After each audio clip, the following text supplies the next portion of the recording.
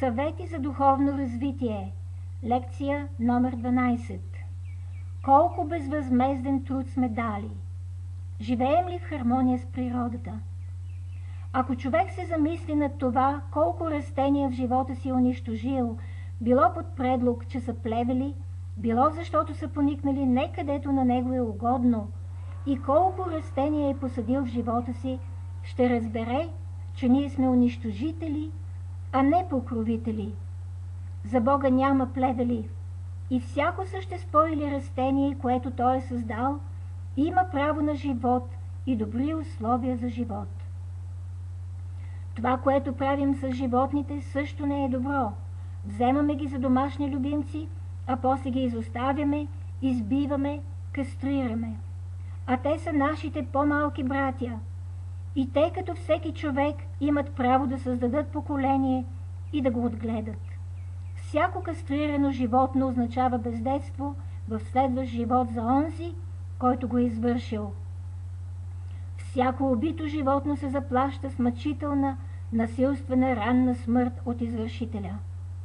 Нека всеки от нас в тези светли космични дни направи преоценка на живота си и започне ревностно да уважава природата, да стане добър и грижовен към всичко, което го заобикаля и да работи за създаване на закони, които ще премахнат кастрирането и избиването на животните, изсичането на горите, замърсяването на водите и въздуха. Колко безвъзмезден труд сме дали! Грижим ли се добре също и за по-бавно развиващите се хора и за унеправданите, за сакатите, за сираците, за умствено болните, за хората в затворите.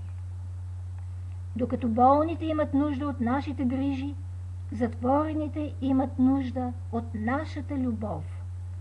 Това са хора, които за жало се развиват с по-бавни темпове, но между тях има също и много хора, които са били силно онеправдани.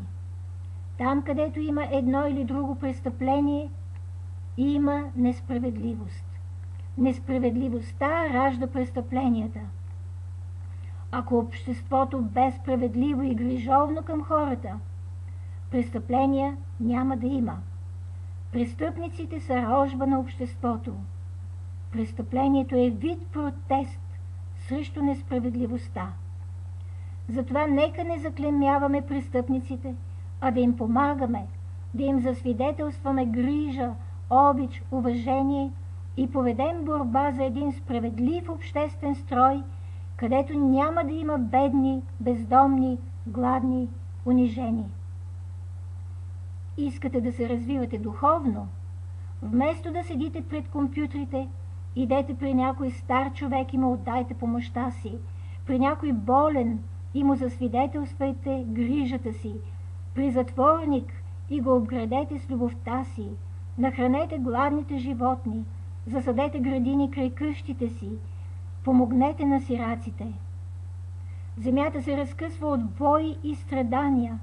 Отворете ушите и очите си, за да чуете и видите, и приемете в сърцето си всички страдащи и започнете да им помагате.